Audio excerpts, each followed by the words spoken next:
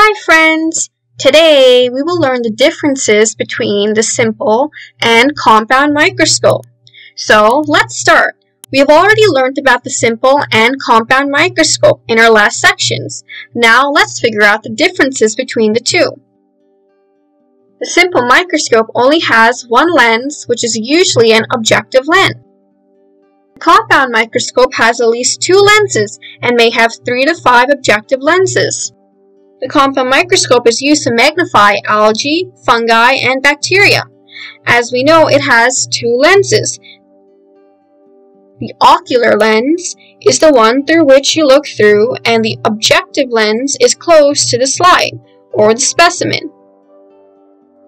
The simple microscope is not used for any research, whereas the compound microscope is used for professional and research purposes. A compound microscope has many different zoom options, as its magnification relies on more than one lens. And this is why we call it as a compound microscope. Whereas the simple microscope does not have any zoom options, as it has only one lens and this is why it's called the simple microscope. The maximum magnifying power of a simple microscope is 10 whereas the maximum magnifying power of a compound microscope can be 1000. The total magnification of a simple microscope is limited to only one lens. The total magnification of a compound microscope is the product of the magnification of the two lenses. For example, if the ocular lens has a magnification of 10 and the objective lens has a magnification of 10, then the total magnification of the compound microscope will be 100. No condenser lens is present in the case of a simple microscope. But the condenser lens is present in a compound microscope. It is used to adjust the intensity of light for the magnification of the specimen. In the case of a simple microscope, there is no use of a course, hooks, and knobs. But in the case of a compound microscope, you need to use knobs and hooks to adjust the lenses to focus the image to get a clearer, magnified image. For a simple microscope, you always need a natural source of light.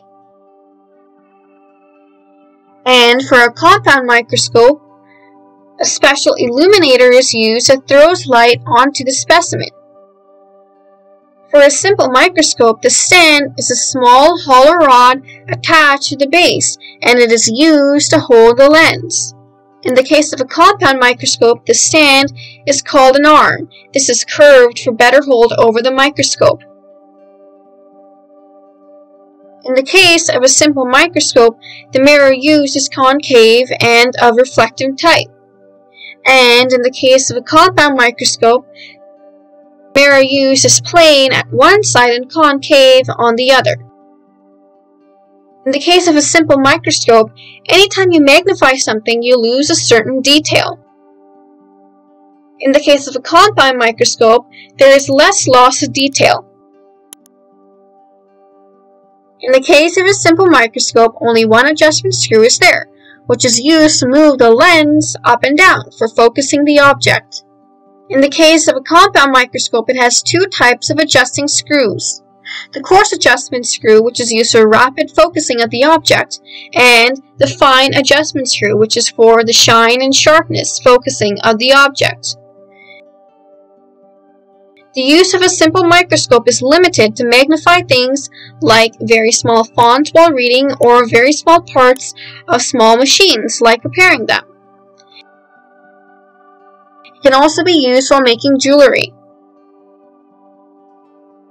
The compound microscope is used to see the details of the cells, like you can see the organelles of the cell. So friends, these were some of the basic differences between the simple and compound microscope. Thank you so much for watching. Don't forget to like, comment, and share this video. And if you want to see more fun videos, you can hit that subscribe button. You can also follow us on Facebook and Instagram for more content. Bye-bye!